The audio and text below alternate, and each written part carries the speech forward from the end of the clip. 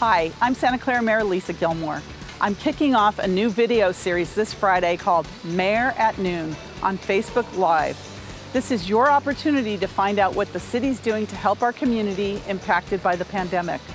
Those struggling financially, our seniors, our kids, small businesses, and so much more.